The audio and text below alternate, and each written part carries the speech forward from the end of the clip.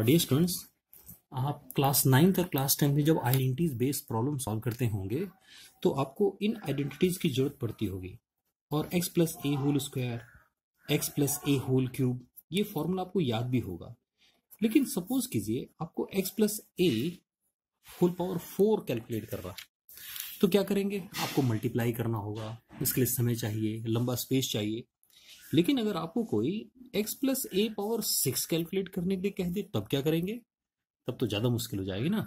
तो इसके लिए हम एक शॉर्टकट टेक्निक सीखेंगे, जिसकी हेल्प से इस तरह के किसी भी पावर को अगर एक्सपेंड करना है, यहाँ तक कि अगर आप चाहे तो x plus a power nine को भी आप एक्सपेंड कर सकते हैं। बस आपको उतना बड़ा पेपर होना चाहिए आपके पास। कैसे करना है? इसके लिए एक पास्कल ट्रायंगल बनाएँगे। रूल क्या है? वन से स्टार्ट करेंगे वन पे ही खत्म करेंगे। सो वन से स्टार्ट वन पे खत्म।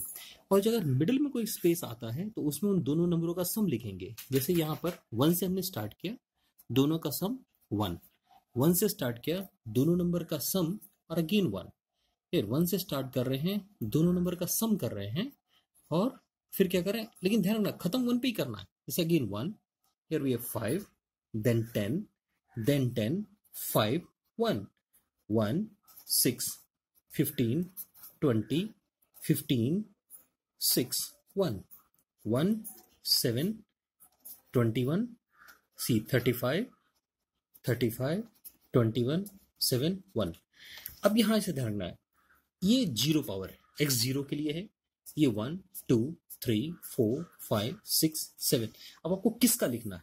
सपोज़ कि हमें x plus a power six लिखना है तो हमारा सिक्स के लिए ये लाइन है तो क्या करेंगे? हम सीधे x plus a power six और एक लाइन में जो भी नंबर्स हैं उनको लिख लेना है। One six fifteen twenty fifteen six one अब क्या करना है? फ़र्स्ट टर्म में जो x है, उसकी हाईएस्ट पावर से स्टार्ट करेंगे। और a की लोएस्ट पावर तो a पावर ज़ीरो वन होता है, लिखने की ज़रूरत नहीं। प्लस x की पावर को आप डिक्रीज घटाते जाइए और a की पावर को बढ़ाते जाइए। यानी x पावर एक घट गया तो ए पावर बढ़ गया। एक्स पावर को हमने घटा दिया है ए को बढ़ा दिया है है ना? हमने एक्स को ये घटा दिया, हमने ए को बढ़ा दिया। हम क्या कर रहे हैं? एक्स को डिक्रीज करते जा रहे हैं, घटाते जा रहे हैं और ए को बढ़ाते जा रहे हैं। कि देखो एक्स फिर ए फाइव लास्ट में एक्स ज़ीरो हो गया सो ए सिक्स आ गया। इसको हम लिख देते हैं और यही हमारा सिंपल सा एक आंसर हो जाएगा। ध्यान रखना है, हर एक टर्म के अंदर इस पूरे में एक अच्छी बात क्या है? मैं तो अभी सिर्फ़ लिख रहा हूँ इनको, जो भी टर्म्स आए हैं, उनको एक बार मैं प्रॉपर वे में आपको लिख के दिखा रहा हूँ। और कुछ नहीं, मैं अभी नया कुछ नहीं हो रहा है इसमें। ओके से एक चीज़ और विशेष बात है इसमें देखिए, कि जो भी नंबर्स यूज़ किए, उनकी पावर हमेशा इक्वल रहती है। Six six six six six six six even अगर मुझे सेवन का लिखना है तो कितना आसान है। देखिए, अब मैं एक लाइन में लिख रहा हूँ। या मुझे x plus a power eight लिखना है तो मुझे इस पास्कल ट्राइंगल को सेवन का एट ले जाना है। So one eight twenty eight it is fifty six seventy fifty six again twenty eight then eight one see मैंने एक से स्टार्ट किया। एक्स पावर हाइएस्ट देन अगला नंबर एट है। एक्स की पावर को डिक्रीज कर रहे हैं ए को इंक्रीज कर दिया।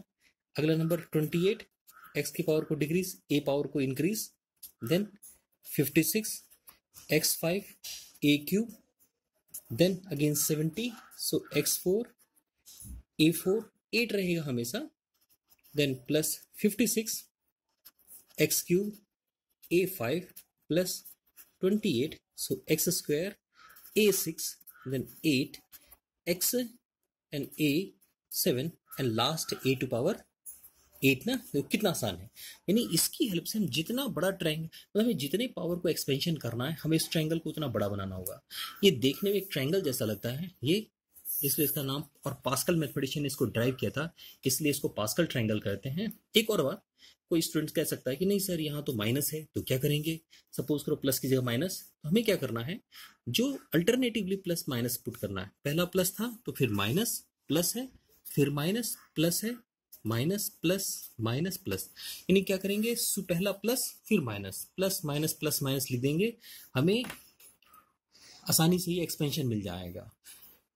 इतना ही नहीं, इसको क्लास इलेवन की टिग्नोमेट्री के फॉर्मूले में भी यूज़ कर सकते हैं, जिसके लिए आपको मेरा एक दूसरा वीडियो देखना होगा। और इस तरह के और मैथ्स ट्रिक्स के लिए, कि मैथ्स ट्रिक मैथ्स शॉर्टकट या फन विद मेथड्स के लिए मेरा चैनल सब्सक्राइब करना ना भूलें। धन्यवाद।